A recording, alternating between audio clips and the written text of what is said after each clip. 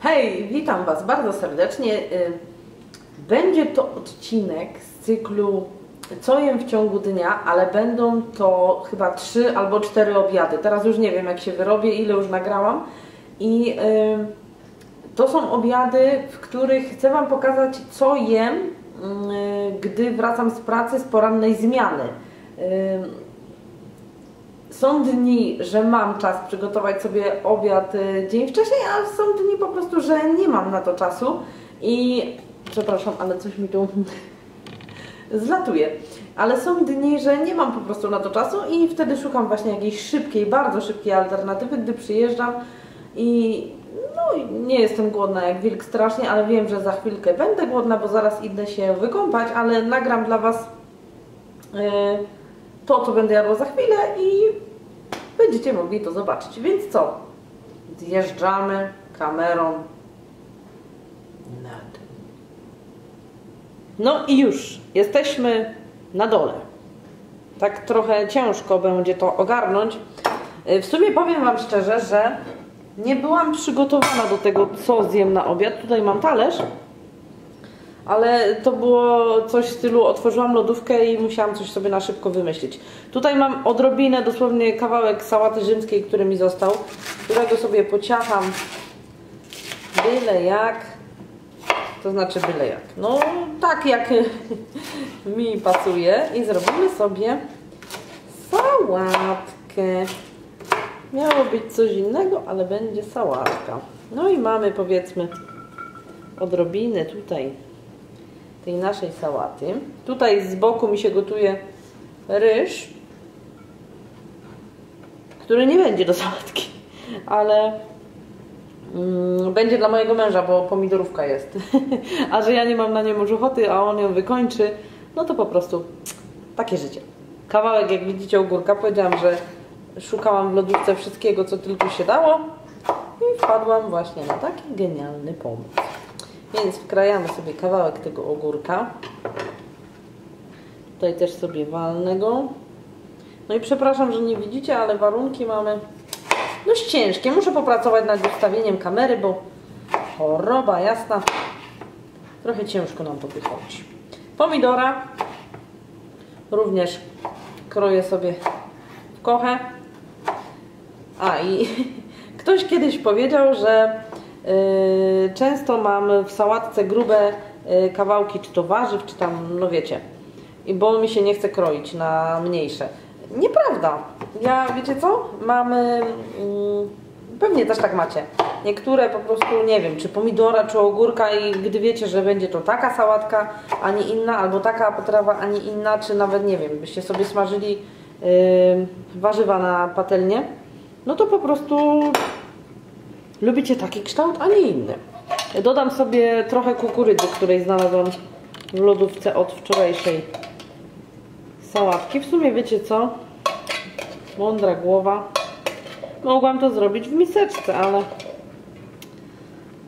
Dobra, już tutaj dużo nie ma, to już ją wykończymy. Nie lubię, wiecie co, jakby mi... O! W tej chwili jakby mi zostało taki kawałek kukurydzy i by mi leżał w lodówce i nie miałby się kto nad tym zlitować, więc... Yy będzie więcej kukurydzy. Będzie ładnie, kolorowo i kukurydza fajna, zdrowa. A ja sobie e, w tym czasie przemieszam odrobinkę ryżyk, aby mu się nic nie stało i przystępujemy do działania następnego. Znalazłam w lodówce też awokado, więc mm, myślę, że połóweczkę możemy sobie spokojnie użyć. Druga połówka na jutro, może nawet na śniadanie. Nasze awokado jest dobre. Jest dobre. Więc jedna połowa. I nasza pecha, która nie chce wyjść, ale jaja. Ale jaja, słuchajcie. Ale wiecie co, jakbym ją łyżką wywaliła. Ole jajka. A no, takie jest gotowanie na żywo. Zaraz się tu porobi bałagan. I co nie tylko. I wiecie co, ja nie lubię stylu takiego właśnie krojenia tego ym, awokado, o, te krechy i tak dalej. Ja i nie wiem czemu, ja tak instynktownie jakoś mam, że po prostu muszę je, o, ten właśnie oto sposób obrać i dopiero je sobie pokroję. A jakbyście słyszeli w tle jeszcze jakieś inne odgłosy, to najprawdopodobniej jest to kot lub no, oczywiście kawałek skórki nie odkroił. Jest to kot albo jest to, słuchajcie, yy, zmywara. Po prostu. Ja, jak ja, wiecie co, dawno nie jadłam awokado. Ja w ogóle zapomniałam, że je mam w lodówce. Nie wiem jak do tego mogło dojść. No i sadzimy sobie na naszą sałatkę awokado. Mm. Oczywiście już leci. Już wszystko leci. Palucha obniżemy. I stwierdziłam, że miało być z tuńczykiem, bo mam na niego ochotę, ale ku mojemu zdziwieniu mój małżonek dziś rano zakupił mi łosośka. W sumie y, nie. Źle, nie będziemy tu tańczyć. Nie będziemy z nim tu tańczyć. I damy tak połowę. I teraz możemy go sobie albo porwać na małe takie kawałki, albo wiecie co? Najzwyczajniej w świecie nożem. Raz, ciach, ciach i wszystko gotowe. Więc nasz łosoś ląduje sobie do sałateczki. A teraz muszę się z Wami rozłączyć, yy, dlatego że umyję dechę, bo jeszcze będziemy przygotowywali coś do naszej sałatki. Może byście w końcu ją zobaczyli, a nie tylko o to, co ja tutaj robię. Także minuta pięć i wracam. No i jestem, jestem. Musiałam zmienić miejsce. Powiem Wam, że ciężko, ciężko. Sytuacja jest dość podbramkowa i dość napięta. Więc tak wygląda moja sałatka. Oliwa mojego męża, o której słyszeliście już bardzo dużo razy. Zlewam sobie moją sałatkę oliweczką. Odstawiamy. I teraz słuchajcie, nic innego jak sól. Coś się solniczka psuje. I oczywiście pieprz. Ale to nie będzie koniec naszej sałatki. Można by było ją też doprawić, nie wiem, jakimś dressingiem fajnym na przykład. Ale że nie ma czasu i że mi się po prostu nie chce, to sałatkę odstawiamy na bok. A do niej przygotujemy sobie jeden placek tortilli. I wiecie co, ja muszę się tutaj wychylić, bo nie mam y, podglądu wysuniętego. Wiecie co? O, bierzemy sobie jeden placek i muszę iść po nóż. Muszę iść po nóż, słuchajcie. Tylko gdzie jest nóż? Choroba jasna. Nie ma noża. Dobra. I robimy, słuchajcie, następujący bajer. Ja pokroję sobie tą tortillę na trójkąty. Kształt, wzór dowolny. Mogą to być króliczki, zajączki. Co Wam się uda powycinać. O, no, widzicie? Jaki trójkąt? Bajka, nie? Bajka. I teraz, słuchajcie. Byśmy się musieli chyba przesunąć bliżej. Więc postarajmy się to uczynić. I mam nadzieję, że kamera tu nie gwiźnia. I że będzie wszystko w normie. I tak, na patelni włączamy patelnię. Cyk. Wlewamy znów oliwę.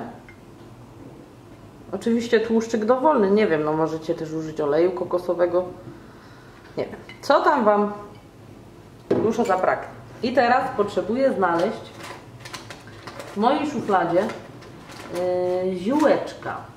I normalnie użyłabym zioła prowansalskie, ale że kupiłam takie coś, co mi bardzo, bardzo smakuje. Zioła do sałatek, które już Wam czytałam w jednym foodbooku. Są bardzo, bardzo fajne. no to nie będziemy po prostu ich używać. I teraz tak, jak nasza patelnia się nagrzeje, to my będziemy układali sobie w ten oto sposób nasze, nasze placek i ja go będę popruszała po prostu solą i tymi ziołami. I on się tak fajnie, ładnie zarumieni i będzie fajną przekąską do mojej sałatki. Yy, coś tu się zaczyna dziać, więc postarajmy się to ułożyć. Mogłam wziąć większą patelnię, ale oczywiście inteligencja górą. Ja po prostu stwierdzam, że chyba w poprzednim wcieleniu zdecydowanie byłam blondynką. No i teraz ja już sobie, albo nie wiecie, co źle, co ja robię. Więc widzicie, o, one już sobie skwierczą, więc ja sobie zmniejszę ogień. Te patelnie, te patelnie, te garnki, które posiadam z firmy Tefal, są, słuchajcie, nieziemskie. Tak szybko się nagrzewają. Zobaczcie, przy Was włączyłam, a to już wszystko skwierczy i już, yy, już działa. Już po prostu ciężko jest się nauczyć w ogóle gotować na tych garkach, Wam powiem. Ale mam nadzieję, że jakoś damy radę. I jak one sobie będą tak siedziały w tej oliwie, z jednej i z drugiej strony, to my możemy sobie zrobić taki myk, żeby ona nam się, o, napiła z drugiej strony. My już sobie ją osolimy. Osolimy ją sobie trochę. Naprawdę coś mi solniczka nie działa. I posypię sobie ziółkami. Miałam też pomysł na to, aby do tej sałatki y, zrobić sobie grzanki z chleba, na przykład czosnkowe, też bardzo, bardzo lubię. W ogóle jak mam łososia w sałatce, to bardzo lubię właśnie grzanki. No i to by była jedna strona. I teraz walimy sobie na drugą stronę. Oczywiście do momentu y, takiego zarumienienia, a że jeszcze go nie mamy, to chwilę je potrzymamy. W sumie może w ten sposób z drugiej strony sobie ziółkami posypię. Soli już niekoniecznie z tej strony, bo mi z jednej zupełnie wystarczy. No i to by było na tyle mm, moich takich ala grzanek. Więc y, zaraz Wam pokażę, jak to wszystko będzie wyglądało już gotowe. I tyle. I voilà! Sałatka gotowa. Czyż to nie piękne kolory i połączenia? Mówię Wam, spróbujcie koniecznie. Jest to przepyszne, jak słyszycie, ja już e, zaczęłam podkąszać tortille. Jeżeli lubicie smak ziół, to jest po prostu coś dla Was. E, możecie też je sobie na przykład opruszyć e, czosnkiem w proszku odrobinką. Do tego też te ziółka albo sam czosnek i sól na przykład. Mówię Wam, pycha, pycha. A tak samo możecie sobie zrobić grzanki. Ja często sobie robię właśnie do takiej sałatki grzanki. Jest to po prostu zwykły chleb mm, albo bułka nawet, pokrojona w kostkę, jaką Wam pasuje, na suchą patelnię. Tak samo przesmażacie odrobina soli, yy, ziół, czy czosnku, czy czego chcecie i grzanki gotowe. Także co? Ja znikam jeść. I to by był chyba ostatni yy, obiad w dzisiejszym odcinku. Trzymajcie się, do zobaczenia. Hej! Cześć, dzień dobry, witam Was bardzo serdecznie. Przyjechałam przed chwilą z pracy, jestem rozwiana, rozwichrowana. Zobaczcie, jeszcze mam okulary na yy, czopce. Yy, kot, o, kot też już głodny, kot też już głodny. Yy, zaraz Was tutaj opuszczę na dół, więc zobaczycie, co będziemy przygotowywali na yy, obiad. Będzie to bardzo szybki obiad, nie? Bardzo szybki. Pokaż się, pokaż się, pokaż się. O, ale zły, ale głodny. Ale głodny, dobra. Fuh, kot spada. Fuh. Yy, Będziemy przygotowali bardzo szybki obiad. Yy, Jest godzina yy, 14.20. Ja, jak mówiłam, wróciłam z pracy. Yy, Zrobiłam sobie kawę. Miałam taką ochotę na kawę, a dzisiaj niestety w pracy niezbyt fajnie było, także mm, już Was opuszczam, nie przedłużamy i zabieramy się za przygotowanie obiadu. A może najpierw jeszcze dam kotu jeść, żeby nam nie przeszkadzał, nie? Dobra, zjeżdżamy na dół. Jesteśmy. Więc y, dziś na obiad będzie pesto, które bardzo często sobie przygotowuję i jeżeli obserwujecie moje filmy, to wiecie, że mam bardzo dużo posadzonej bazylii. Ta jest niestety kupna, ale lada moment będzie gotowa yy, jakiś, jakiś paproch. Lada moment będzie gotowa yy, do spożycia ta moja, yy, która już rośnie i makaron Makaron mam dzisiaj lubellę, akurat taką.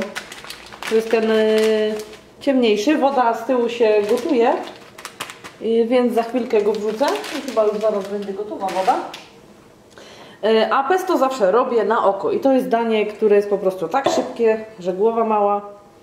Mój blender, który jest tutaj, pojemnik i do którego wrzucamy.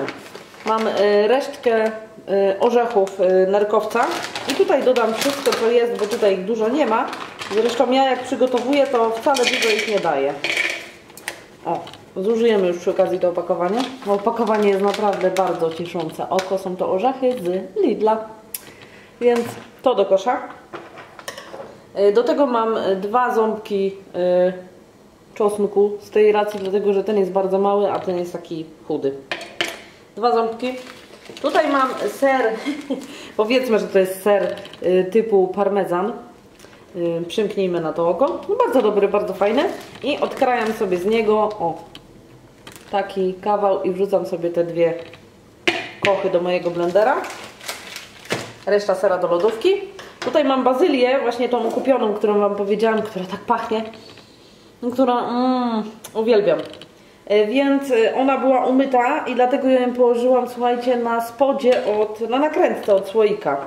I co? Po prostu biorę nożyczkami, ucinam i dodaję wszystko do mojego pojemniczka do zblendowania.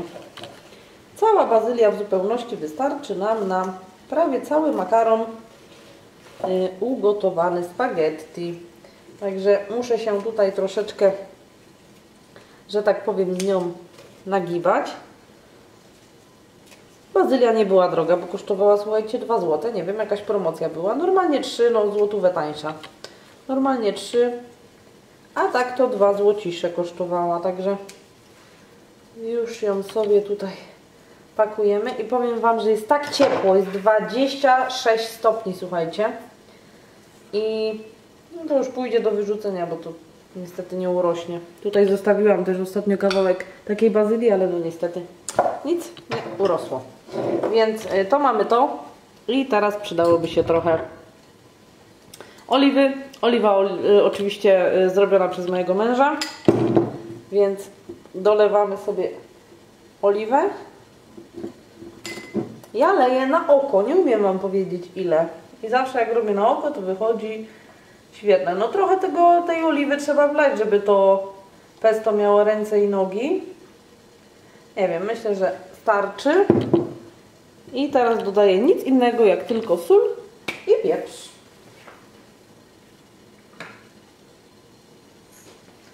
Tutaj mam w kubeczku sól morską. Nie daję za dużo soli, dlatego że ten ser jest też słony. A jeżeli chodzi o pieprz, to może być jak najbardziej świeżo zmielony. I oczywiście u mnie, nie muszę powtarzać, ale powtórzę, dużo pieprzu. Dobra, to by było to, to. A, a oliwa, o którą pytacie zawsze, to jest dokładnie ta. Widać? Widać. Więc odkładamy sobie oliwy, bierzemy nożyk z naszego pojemnika, zakręcamy, cyk i teraz ym, wytniemy efekty, efekty, efekta, wytniemy efekty dźwiękowe, tu mi się trochę nakruszyło. I, i blendujemy, a ja w tym czasie sobie wstawię makaron, bo już mi się woda gotuje, co pewnie słychać, więc jedziemy.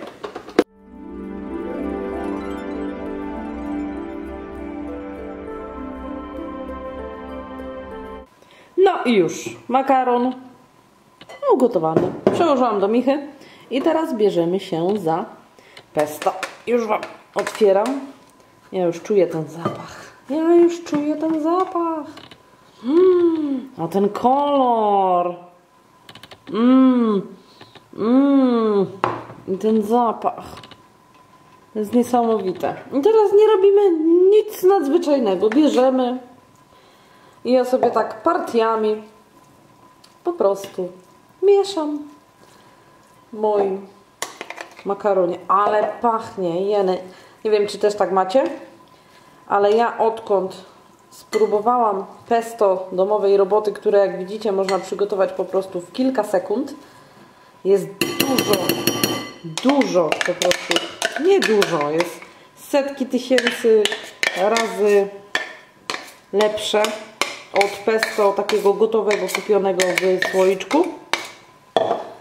A jak widzicie, przygotowanie jest banalnie proste. Także to mieszanko trochę mi tu zajmie, ale jest przepyszne. A zapach jest taki, że już chyba nie będę mogła dłużej wytrzymać, ale mam plan działania taki, że yy, idę teraz pod prysznic. Muszę jeszcze umyć włosy, bo niedługo muszę niestety wyjść na chwilę. Także pokażę Wam moje pesto, Y, ile zjadłam? Za chwilkę. O, latają całycha. Także widzimy się za sekund parę. I tak wygląda moje spaghetti z pesto. W tyle ekspres do kawy szumi, także sorry memory.